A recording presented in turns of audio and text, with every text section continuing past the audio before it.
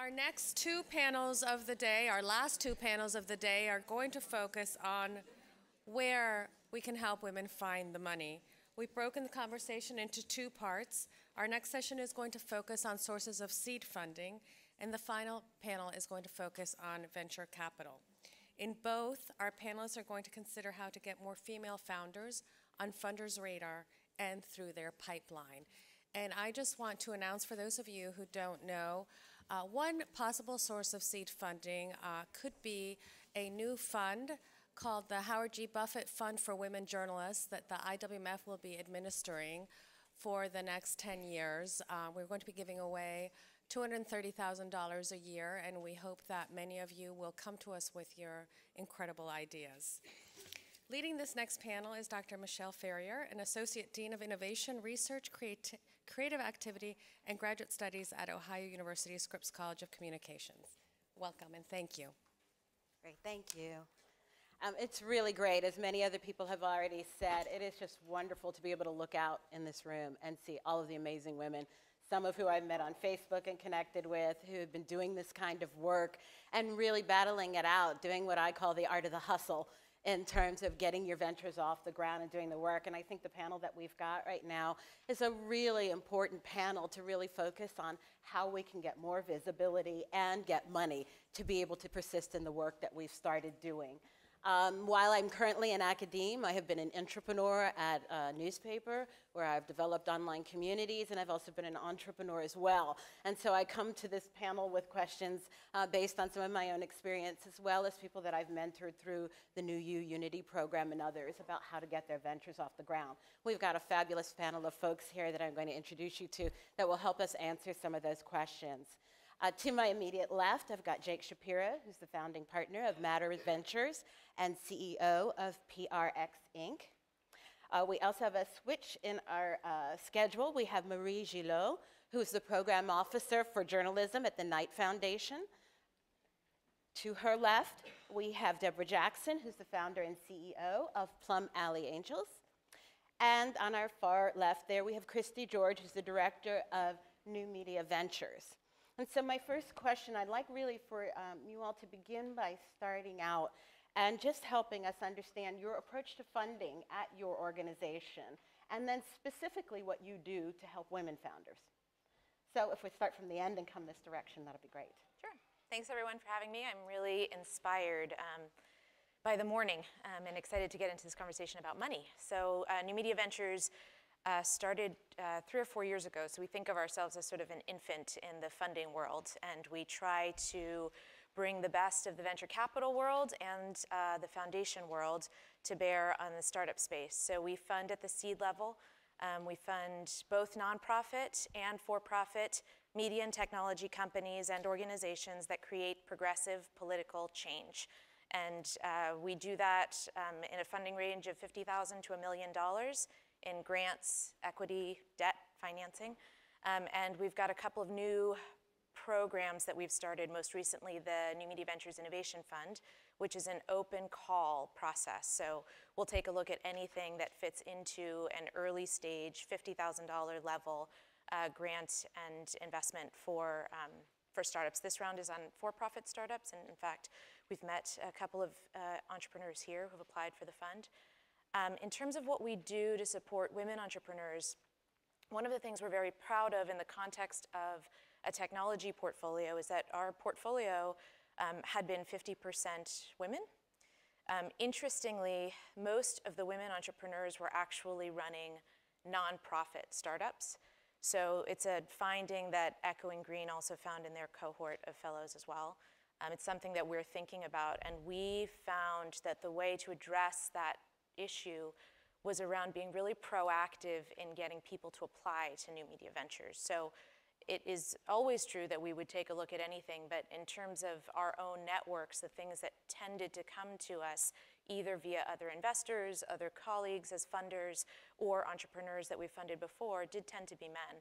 And so in the open call, what we did was aggressively market uh, toward uh, know, women technology listservs, communities that brought together women entrepreneurs. we, kind of took a page from um, the Knight Mozilla Fellowships. There's a great post by one of their staffers about what they did to uh, increase the diversity of their applicants. I'd encourage all of you to read it. Um, and we basically sort of tried to follow that step by step. We, um, you know, we're still not there yet. I'd say we do less well on racial and ethnic diversity than I'd like. Um, but I think being really proactive about meeting people where they're at and encouraging them to apply to you is probably the sort of lowest hanging fruit, I would say, to increase the applicant pool of women entrepreneurs. Hi, everybody. I'm Deborah Jackson. I'm the founder and CEO of Plum Alley. And Plum Alley is a company where women come to raise money for their ventures and their projects. And I come at this from a number of perspectives. I had my career for many, many years, 21 years on Wall Street, and raised money for companies, big companies and small companies. And after that experience, I became very passionate about the fact that there are these amazing women out there they weren't always able to achieve their full potential, certainly not on Wall Street. And I was seeing it in other sectors as well. And with my background in finance, I became very um, interested in how do we move the needle? How do we get more money to these amazing women that were founding companies, women in media, women in technology, women with consumer products? So um, what I did is I uh, got very involved in the trenches. I co-founded an accelerator program to give money to female-founded mobile companies and ran that um, effort with a number of other women. It was very focused on women building mobile tech. From there, I became an active angel investor. I've invested in a number of companies. I was a member of Golden Seeds for several years and on their screening committee. So I've seen a whole range of types of companies that are female founded and have some pretty strong feelings about what you need to do to position your company or your venture to get funding. And a couple of years ago, I founded Plum Alley, which is really focused on helping women raise money, number one, through crowdfunding, and then moving up the capital chain, um, connecting with angel investors and beyond to venture capitalists. And for those of you who were here last night, we heard the dismal statistics, less than 5% of early stage money, angel and VC funds go to female founded companies. So that means, think about it, 95% of all dollars go to male founded companies. And that is unacceptable. That's a ratio that kills innovation. It kills the ability for women to actually have thriving companies. It means that women don't have a seat at the table. And also, women don't create the wealth from the ventures and companies they're creating. So I'm very passionate about moving that needle. It's nothing my company can do alone. We need to do this together, um, not only on women founding companies and getting money for their companies, but also the other side of the equation, we need more women to write checks. And as we know, women control the wealth in this country, but you know, not very much of it flows over to supporting female founders. So a lot of it goes to philanthropy, and I'm not saying that's not good. It's just there are some other things that we could be doing as women to further our values and to create a bigger ecosystem that has more impact in the world. Um, so the Knight Foundation has a journalism program and a media innovation program. And together uh, we make about 30 to 40 million of new grants every year, so it's pretty sizable. Um, and we focus on innovation when it comes to tools, platforms, and processes for journalism. Um, so we don't generally tend to fund content. Um, it has to be um, something that is new and can be reproduced or used by, uh, by other journalists to help the space um, uh, move forward. Uh, as for women, um, obviously this is, we have to be very very proactive about, about um, making sure that women get their fair share of that money. Because if we are not really uh, vigilant about it, it doesn't get done. It just fall. This is something that, that tends to fall through the cracks in my experience. Um, so that has really translated in um, a specific effort to make sure that when we sponsor panels or discussions, that there's a gender equality and there's um, diversity represented on, on panels that we fund. Um, and also for, as, as, grants come, we have had uh, focus pretty recently uh, on diversity. So we have made a few ad hoc grants that are specifically for that, including a great program at CUNY uh, for sending uh, kids from HBCUs and other minority um, schools to um, paid internships during the summer in New York, in places like New York Times or ProPublica or wherever they can be placed, and get paid because sometimes it's hard to, to get those internships when you can't afford to just take off and, and pay for all your costs. So I'm very proud of some of the, these, um, of these uh, diversity-specific grants, and I hope we can make more of them. And if you have any ideas about how we can go about that, I, I'm available. I'm Jake Shapiro. It's a, a privilege and an honor to be here. It's nice to uh, have gotten a secret pass uh, to the conference. They let me in. Um, I wear two hats. I'm the, um, the, executive director of PRX Public Radio Exchange, and we're a distribution marketplace for stories um, in and beyond public radio, including these days podcasts, which are finally clicking in, which is great. Um, but a few years ago, um, I also helped found Matter Ventures. And Matter is a mission-driven accelerator for media startups. We're based out, uh, PRX is in Cambridge, but Matter is right in the heart of Silicon Valley um, in San Francisco. Um, and it's a five-month accelerator program focused on mission-driven media for-profit startups, um, where we invest in the companies. They need to be um, early stage, usually have a product and a team. Um, our mission is to change media for good, so it's very much trying to bring um, values and principles out of journalism and public media, our roots, um, but enshrine that in some of the, the um, practices and mindsets of, of creating technology startups that we think have been a huge source of value and of growth and of impact. Um, and we've now, I think, been around for about two and a half years. We've had three classes of entrepreneurs who've come through. Um, my co-founder, Corey Ford, uh, runs the program out in San Francisco. And in terms of where we've been sourcing and trying to really help diversify the applicant pool, um, we're threading a needle because the accelerator program is not just an investment, it's actually a five-month in-person program. You have to be in San Francisco for five months with a team. Um, and that has to line up perfectly with where you are in starting your venture. And so there's a lot of hurdles and barriers to do that. Um, we're only providing $50,000 of a cash seed investment plus five months of the program and support. So a huge amount of work for us is in widening the funnel of applicants and doing a lot of the proactive outreach to make sure that we've got high caliber and diverse teams coming into our process. Some of that I've drawn from my own public media history because I think since Matter is, is reaching often a creative set of industries, journalists, editors, filmmakers, others who have just been aspiring to start their own thing, um, I think we've actually had a higher quotient of certainly women applicants to Matter. Um, and we've reached out to the Minority Consortium in Public Media um, and some through Christie and others uh, networks that we know are in Silicon Valley. In the last class of Matter, Matter 3, 50% um, of the teams had women co-founders, which was terrific. And we just made our um, offers to teams and finalized the new class coming in. Um, and it's a, it's, a, it's a wonderful thing that it timed out with coming to this because it's two thirds of the founders, the CEOs of the incoming class are women-led startups, um, which I think is, which is a great, hopefully a sign of things to come.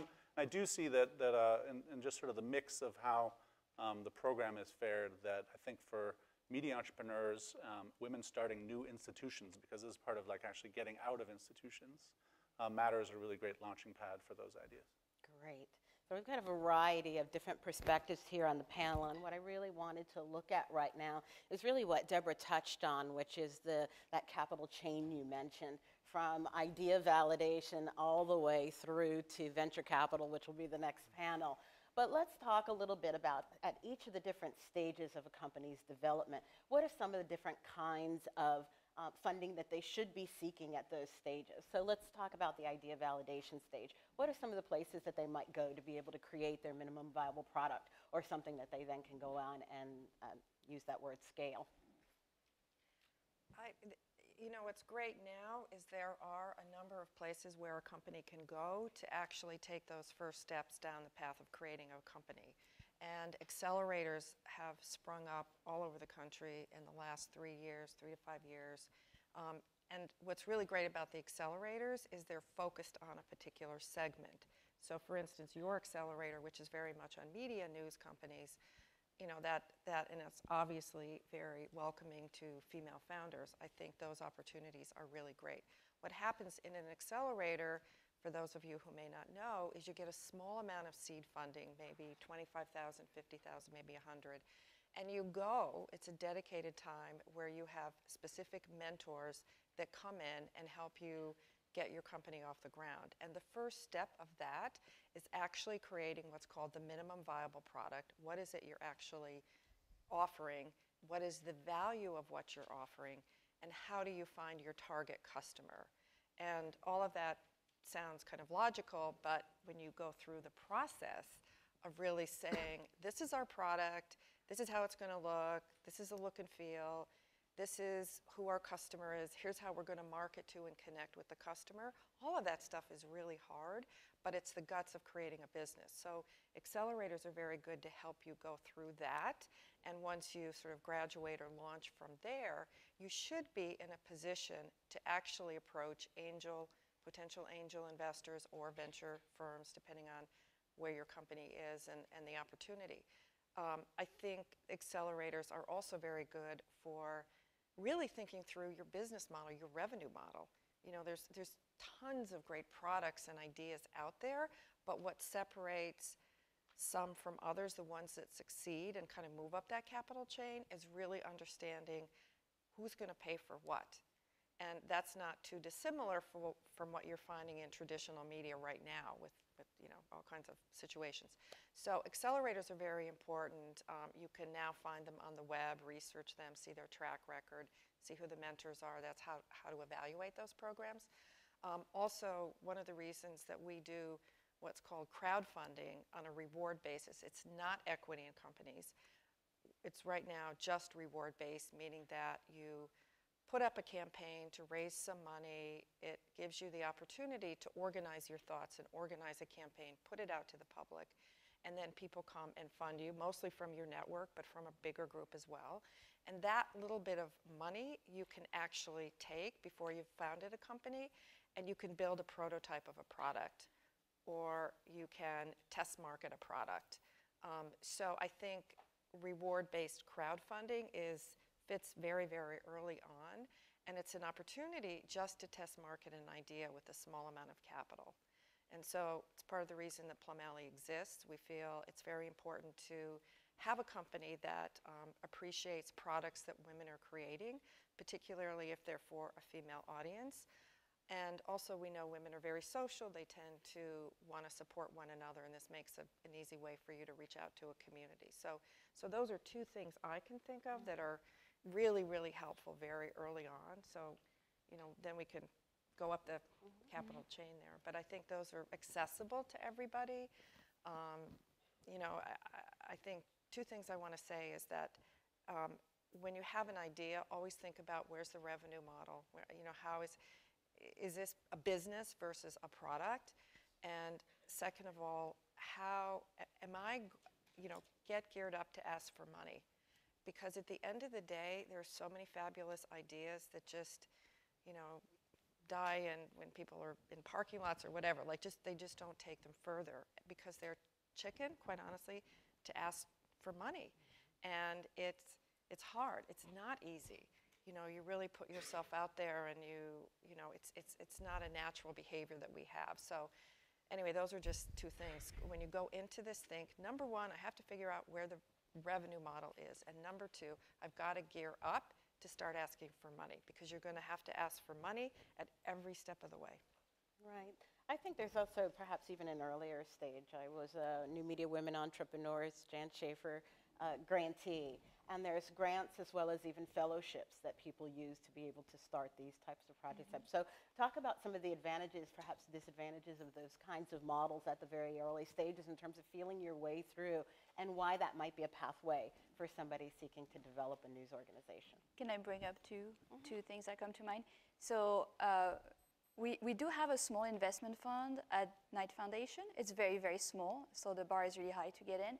But that investment uh, fund um, the people who have gone through it have found it very useful because for leveraging other investment from venture capitalists because it kind of looks good if a foundation says you're doing good there's like this added social impact side to it that some funders some vc um, really like so that's one thing the second thing is uh, we have something called the Prototype Fund, uh, and this is 30, $35,000, so smaller grants, six months.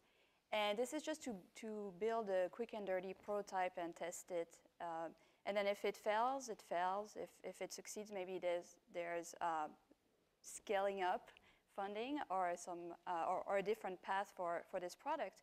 Um, and people have found it very uh, useful because we, the, it's by class, it's four times a year, and the classes go through human-centered design training at the, at the beginning of it, so they're able to, um, to build a, a prototype that is really answering a real, a real problem and not a problem that doesn't exist, which is a pro, a, an issue with a lot of products. So just keep in mind prototype fund and our investment fund. So I was going to add, um, you know, this is sort of to piggyback on what Marie said. We see a lot of companies, um, you know, we've seen hundreds of companies since we first got started, and we see um, lots of companies that are solutions in search of a problem. And so, one thing that's really great about things like fellowships is that you can test all of the assumptions about the problem you think you're going to solve in what is generally a fairly low risk environment. Typically, it's not money you're paying back. You sort of have some structure around you when you're doing that initial testing. It can be very lonely. If you're trying to do something new, presumably there are going to be a lot of people that say that would never work. And you're like, of course, because it's new. And so um, if it worked, someone would be doing it already. And so I think um, I really like thinking of sourcing capital in a layered way, starting with a fellowship to sort of have some community. It's lonely, and so community is helpful, especially if you're in a cohort. Same is true with accelerators um, as a way of like free money to test your assumptions because I guarantee you your initial assumptions will be wrong.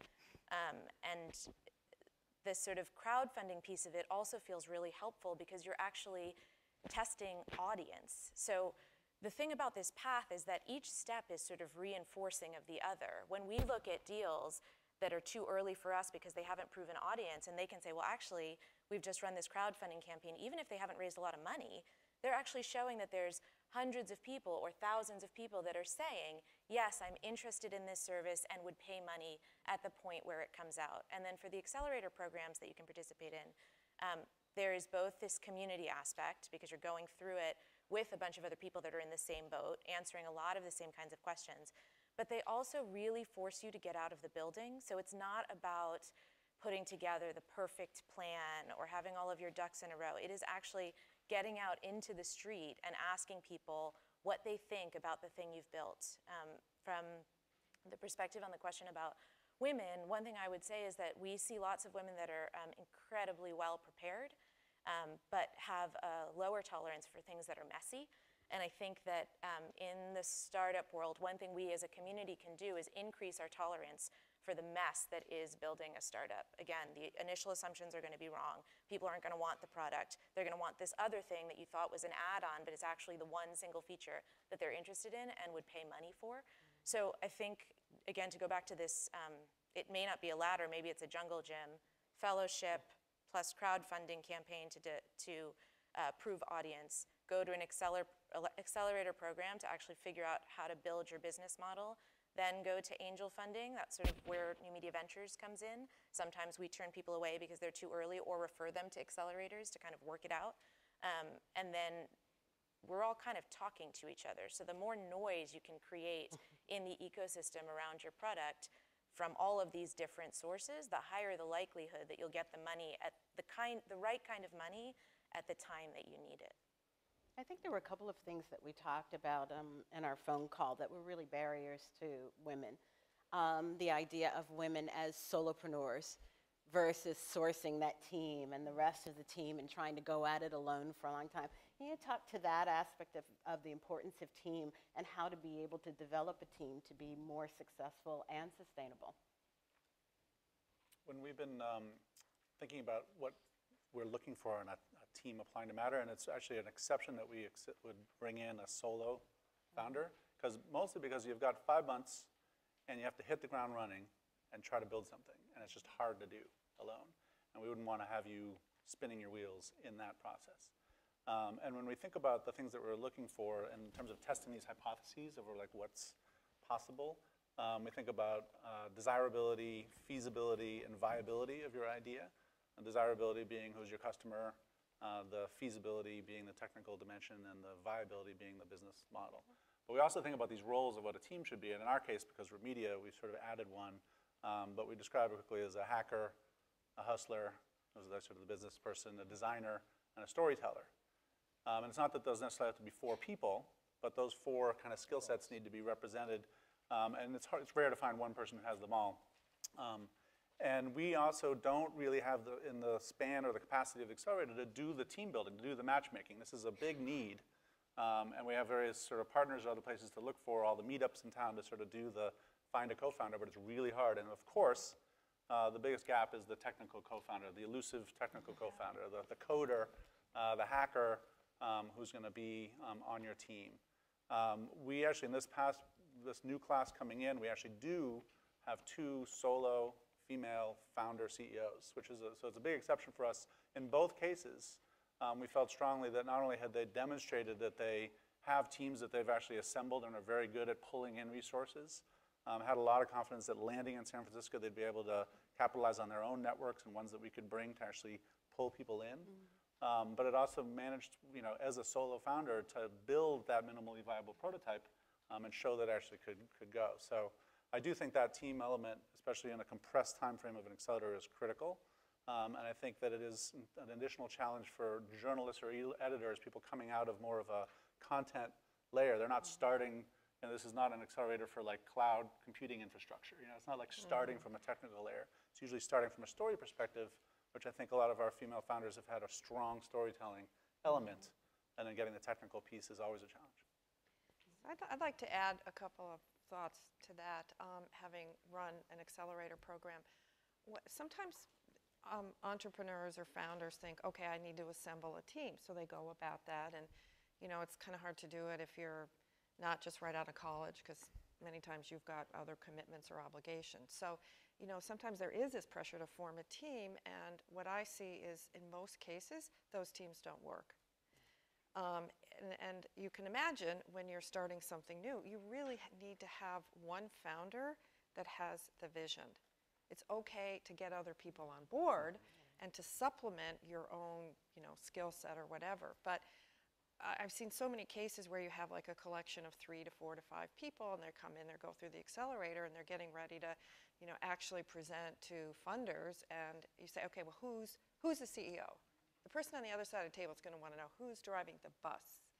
And they go, well, we didn't quite sort that out yet. And, and you know, you, but this person does this, I do this. Okay, but who's driving the bus? And at the end of the day, you need one person. So in this audience, the, the women that have an idea and say, you know what, I want to do a company that does X or I want to do X, own it. Own it. You are the founder and you're going to drive it forward. And obviously, you can't do it alone. So you've got to get maybe a technical mm-hmm. partner. And there's a lack of technical people that want to be co-founders. Generally, the only ones that are available have, you know, aren't that good. So, I mean, sometimes if you're if you're kind of in the know and in the network, you can find people, but it's really difficult. Even big companies can't find really, you know, an adequate staff on the tech side. So, what you can do, you can contract out. You don't have to have it as a co-founder or person in your team. When you're doing the minimum viable product, you can pay an outside firm a small amount of money to do a simple prototype. So don't think you have to have all the pieces of the puzzle in place day one. Um, you know, obviously, the more you can have, the better. But there's also in not just in you know startup situations, but companies, early stage companies. Look at some of the big ones. You know, Twitter, Facebook. The founding team, when that company was off the ground, they had problems. So you know, when you when you connect with the founder, it's like you know, it's more than a marriage because you, you know, you're kind of stuck with this person And- and, and- it's all about business. And you find out things, you know, when you're going down the path together. At, at Knight, if if there is not a strong technical skill in the core team, it raises a red, a red flag for us. Uh, and we do see a lot of journalists who are taking uh, developers as short order, order cooks, right? It's like, oh, I'll just uh, contract that out, right? But at the end of the day, it's a, such an a iterative process that you, you just need to have that person all, all along with those skills. And maybe that person is the, the driver. Maybe, that's even the yeah. best case scenario. I would also add, you know, something that Shazna had said on the last panel, which was always be recruiting. That is so true. It may not be for the position you have now, but again, you may have an opportunity in the future and be disciplined about it. One of the entrepreneurs this morning was talking about how she had gone through four designers um, before she got to the right person, and I think that that feels very true for lots of companies in our portfolio. And I'd suggest you be disciplined about who you bring onto the team. Demand excellence, the kind of excellence you demand from yourself. Um, team is the single most important factor that we look at um, when we're financing startups because we presume that people are going to pivot their product um, after we invest. And so if people don't have a team that's going to be able to weather those kinds of challenges, um, it is again a red flag for us, regardless of what the team um, looks like. One advantage I think that people in this room actually have in terms of recruiting is that if there are people here with a journalism background or a storytelling background, the thing that you have is being able to communicate your passion and a vision in a way that is actually better than other people trying to start companies. And so I would maybe think of that as a real asset when it comes to recruiting people. So if you're looking at uh, startups, are you going to fund a content company that's strictly content, or must it have that technical component to it, or something that's scalable? And we had this conversation in our telephone conversation about this, really about, you know, are you a local bakery or are you a Panera? Uh, something that can scale, and that those are two totally different pathways, none wrong or right on either side. But really looking at what your product is and trying to make that determination. Do you find that people go through the processes that you all um, uh, have available to them and find that they answer that question and say, no, I'm not really a Panera, I'm not really in the right place. Can you speak to a little bit more about some of those questions, those very early questions about who am I and what is the kind of business I'm in? And what's really what's fundable? Go ahead. Go ahead. Uh, we we uh, debate this a lot. Um, so, you know, we do get a fair number of applications from pure content companies. You know, we are a publisher. Um, and essentially, you know, we've got a business model. It's going to be about, you know, a funnel of social traffic into a subscription thing, or we've got a ad model. Um, and we've had a few actually that we thought were a fit, not just because, not, not because they were going to be just a small, successful business, but we felt that there was something either replicable or a learning that would be had. Part of our purpose for Matter is that we feel it's actually a learning laboratory for our, for our partners, for the larger community. Um, so not every single element of the portfolio has to be potential venture scale, um, but it is a venture fund, and we have limited partner investors who expect some sort of return, and it has that kind of pressure.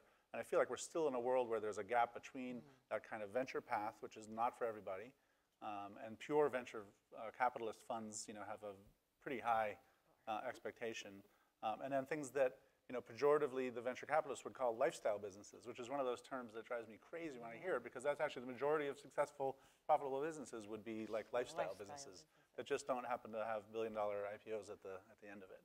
Um, so I feel like there's actually a really interesting moment where many of these pure, more pure publishing and content companies, given how much distribution has been solved in certain ways elsewhere on platforms, can actually make a really credible case to at least start.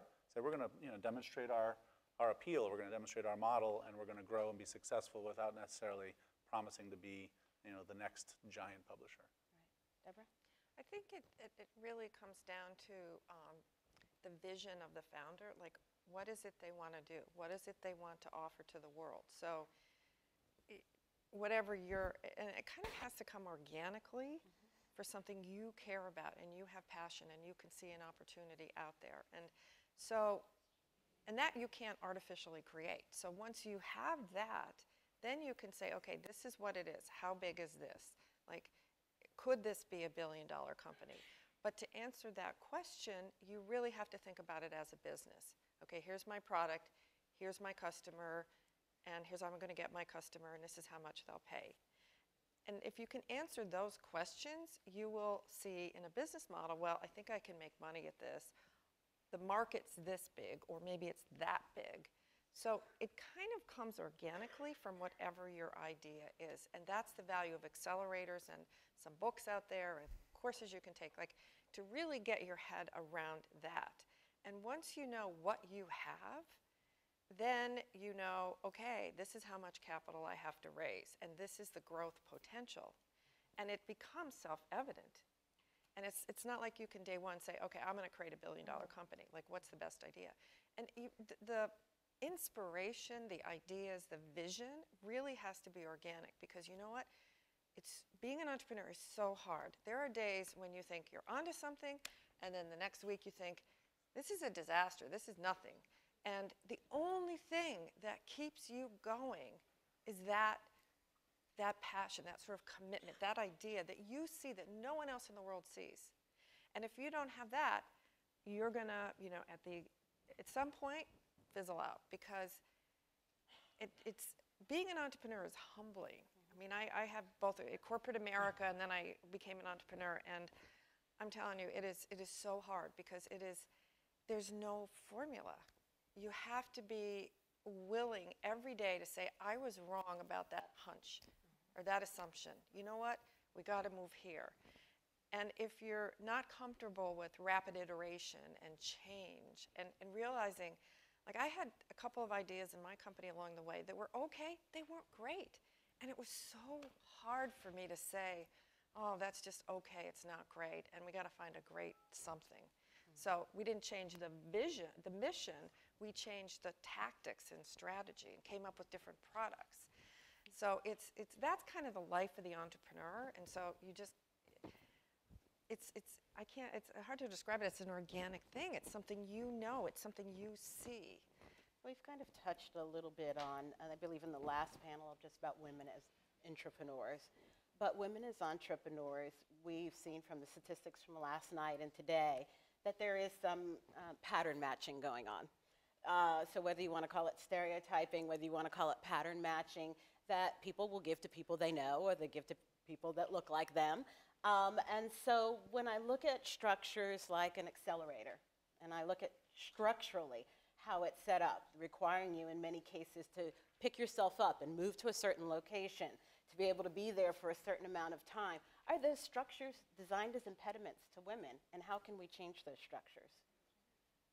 That's been a huge, so we knew setting up Matter that we were forcing um, barriers that would absolutely be problematic, not just for women, but for lots of people for whom the resources to move, to uproot your life, you know, come to San Francisco, spend five months on this thing on, on low money. Um, and it's been part of our thinking all along that we would design it as the starting point, but not the end point for where Matter's value would be.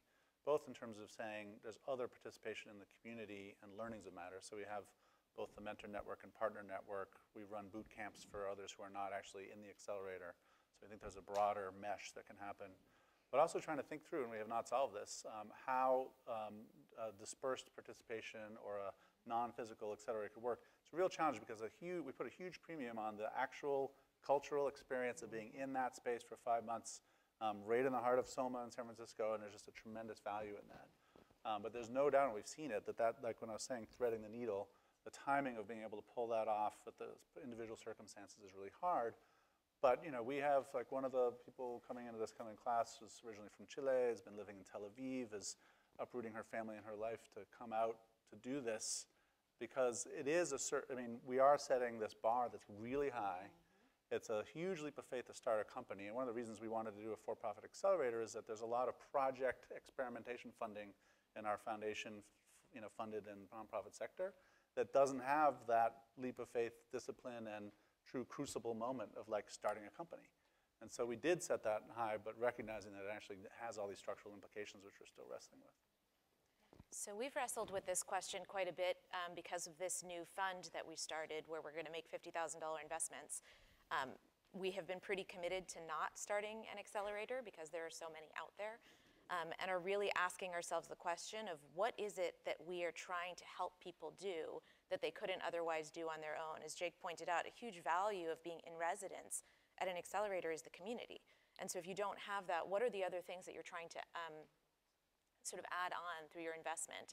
And in many ways for us, it's about making that investment um, a better investment and to, to help ensure the success of the company at this early stage? What, what actually do we have any control over? And knowing that uh, some of the existing structures might be barriers to again, not just women, but working parents, for example, lot, lots of different kinds of people.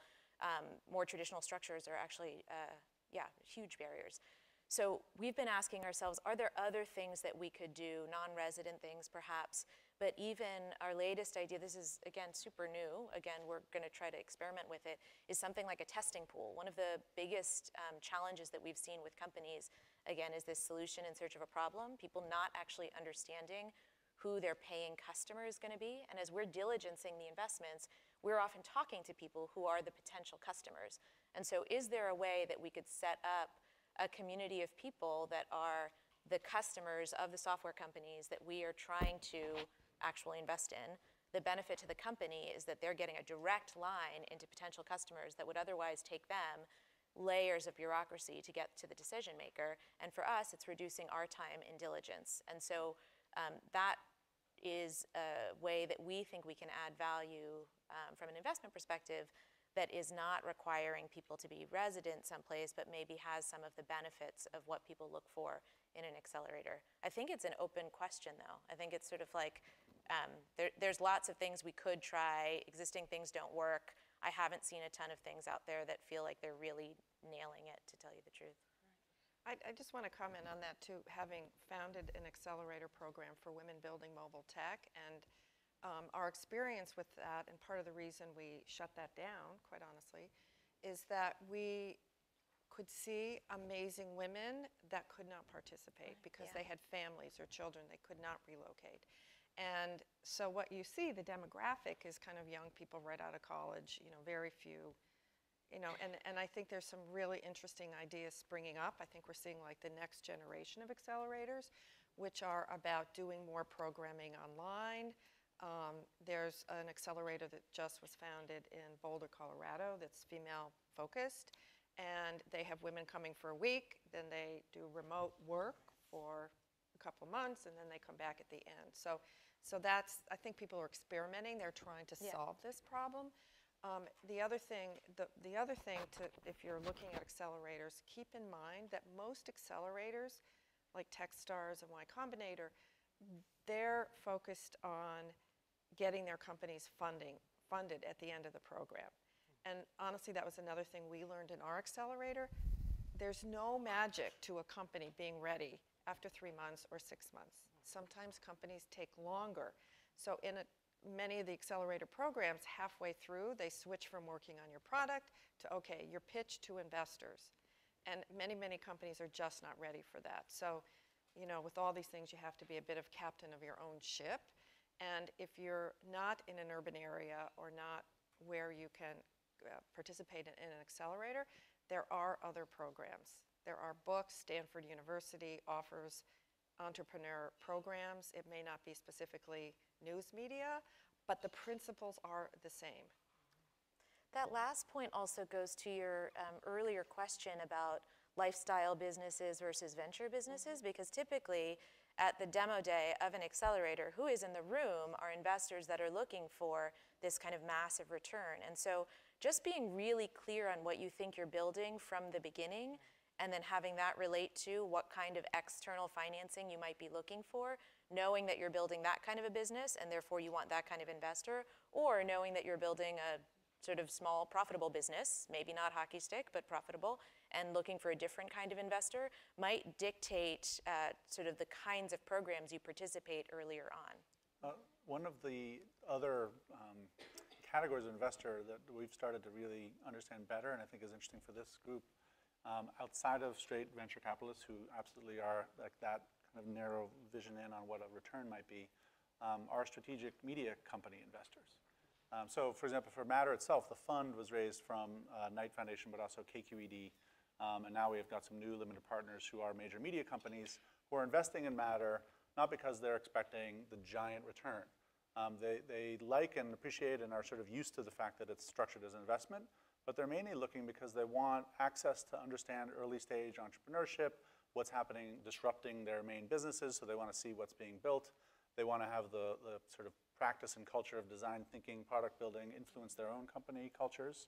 So I think there's actually a growing appetite for legacy and incumbent major media companies to be very interested in investing in, at a different, different lens, different metric, uh, media startups. And I think that actually puts everybody starting those companies in a much different position. We also spoke a little bit in our call about specifically women as entrepreneurs and some of the challenges, i.e., issues that we may have in terms of asking for money. And Deborah said, get ready for the million dollar ask. What are some of the things that we can do to prepare uh, women entrepreneurs, women founders, to be able to talk the talk and be in the places and find and meet the people? And let's get that back to plan A. How do they get into the spaces to meet the people where they can find money, besides being here? Well, the good thing about um, the internet now is you can do the research. So you can, you know, do a search just on angel investors. There's some female-founded angel investing clubs that you can get information about.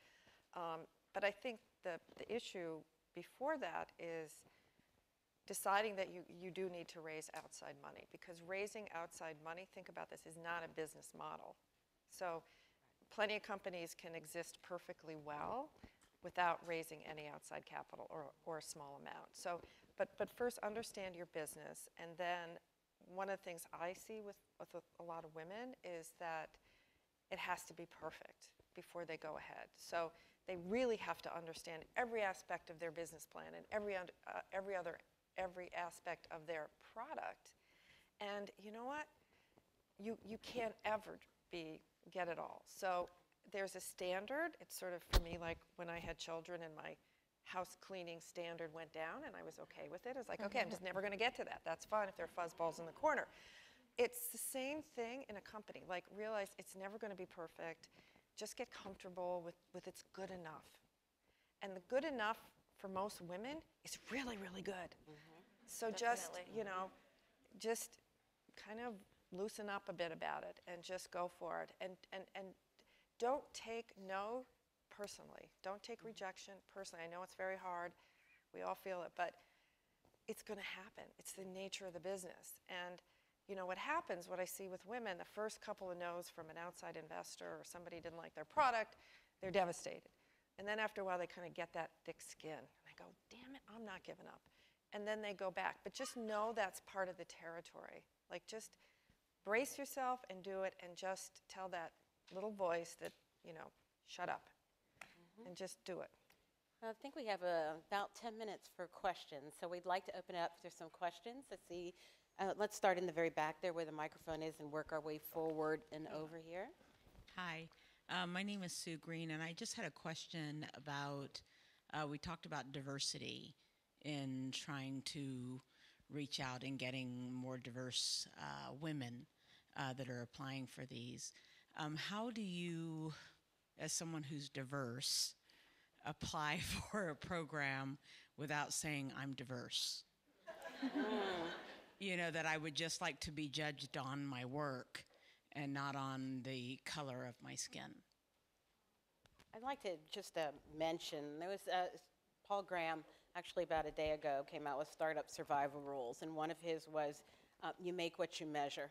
And I think as we began to brainstorm solutions for this panel, um, just as we're pointing to media companies, just as we're pointing to Silicon Valley tech companies and asking them to be transparent about who's on their boards, who's making decisions, how much money is going to women and people of color, communities that are underrepresented, we should be asking our foundations and other different types of funders to be just as transparent in giving those numbers because if we're measuring it, then people will pay attention to it and focus on it and demand change in those areas. So I think we need to ask for the same kind of transparency um, from various funders to make that scorecard known. Other thoughts? Just gonna say, just just that, like, I really appreciate the question. Like, it's a really hard. Nobody wants to be the diversity candidate, right? Everybody is here, like, on their own merits and ama- doing amazing work. Um, I, my sense is that at some point, uh, those of us and the communities that are pulling the purse strings will actually realize there is a hugely undervalued opportunity that we are just missing, both a financial opportunity um, and an opportunity to make impact, and that will come from financing entrepreneurs that are finding problems that you never even thought about because they didn't resemble the problems you thought to identify yourself. So um, you know, both you shouldn't have to do that, and uh, hopefully we will learn by example as well. Question? Who was- Yes, here. Right here. And then over here. Hello, my name is Amie Ferris Rotman. I have a question for all of you. I mean, lots of what you've been talking about is how to get money for profit for businesses. Um, and I wondered if you could flip that a bit. Um, I'm a journalist and I'm interested in my creating a project which is um, which will produce uh, create absolutely no money at all. I mean, but it's for the common good. It's for social change. It's to train Afghan female journalists. Um, and so, could you give a bit of advice about how to seek out money in that framework? I mean, it, it was addressed a little bit on the panel and I think previously today, but I mean, for those kinds of projects that are addressing, uh, you know, something that is not served by the market, it's literally like a market failure or an opportunity, that is exactly why hopefully foundations like Ford exist. Um, and I think what an exciting thing is that we now have some of these crowdfunding tools that I think are still in an early stage of evolution that also find a source of non-traditional capital that don't have some equity investment, expected return, or managed like debt. Um, and I would hope that both between government, um, philanthropy, private sector donors, and crowdfunding, that things that have a high mission purpose and hopefully an effective path are exactly what should be funded outside of the for-profit market. Mm-hmm. There's still a big need and a big role for all of those. Yeah, and I would say let's talk later. Mm-hmm. Yeah, And so it's finding those social entrepreneurs in those spaces that lo- are looking for that triple bottom line and really focusing in on those. We fund both nonprofits and for-profits. We say we're legal entity agnostic, so we don't actually care whether you're a for-profit or a nonprofit, just that you have chosen the legal vehicle that is most appropriate for your actual mission.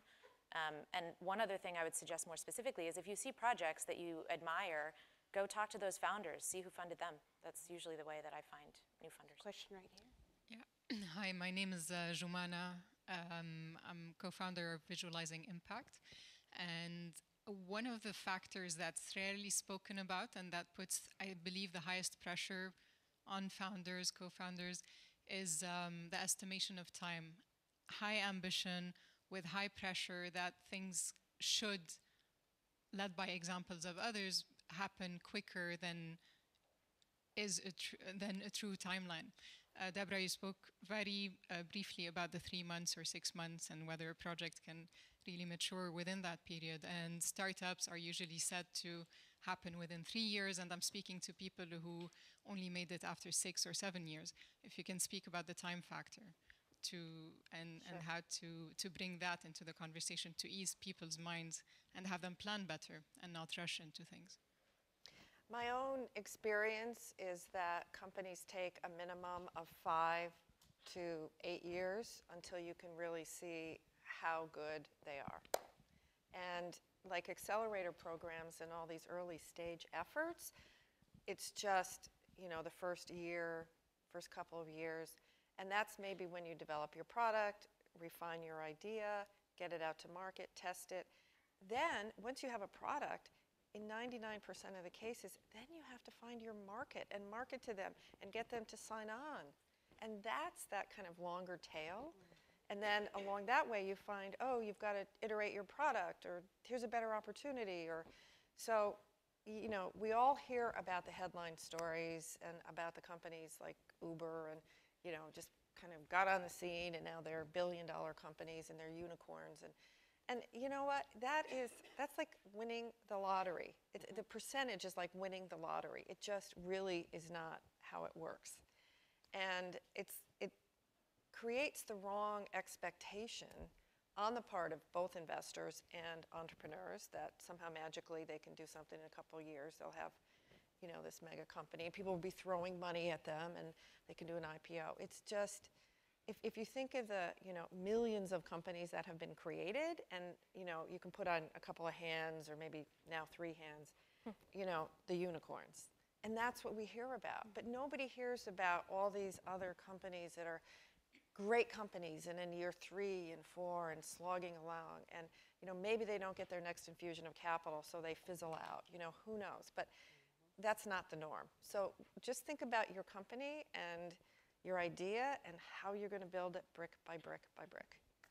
And, and if I can add real quickly, we funded uh, local nonprofit news, uh, online newspapers. Um, places like Texas Tribune was on one of the more successful and famous, but smaller places. And we, we give them startup funding, but that's it. I mean, there's no, it, we don't fund uh, operation, uh, operational expenses. So after two, three years, you're hustling and you're selling advertisement. Like you're a small business.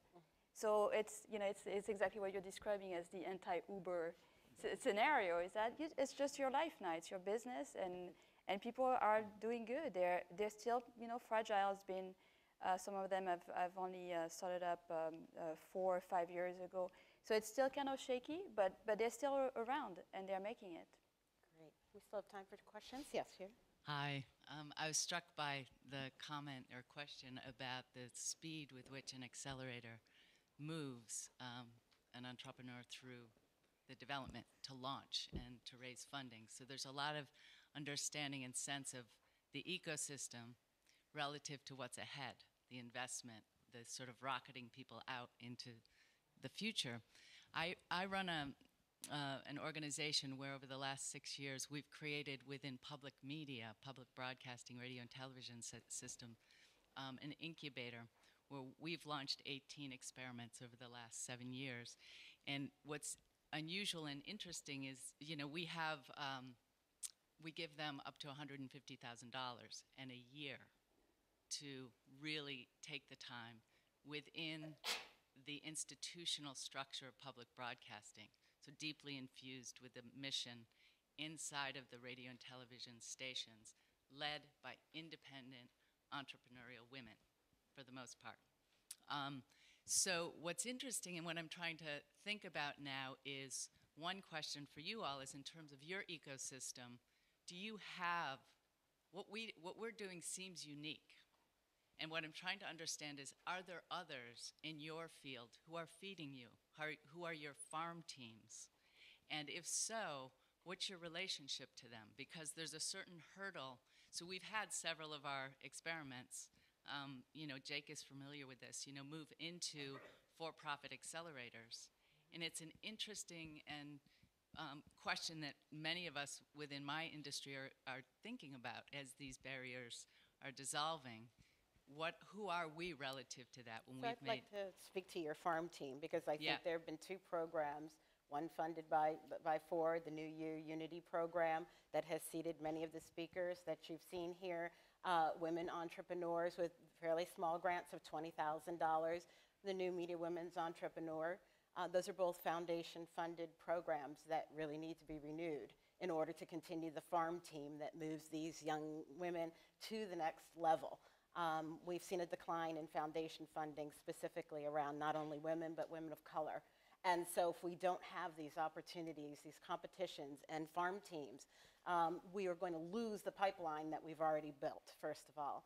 Second of all, um, I'm at a higher ed institution where we are also looking at media entrepreneurship as part of our ecosystem and building media entrepreneurship we are creating pathways and farm teams basically of students who then can come out of school and go into accelerator programs, perhaps when they are a little bit more flexible geographically, um, although they might come out with quite a bit of debt. But uh, there might be flexible geographically to take advantage of some of these opportunities.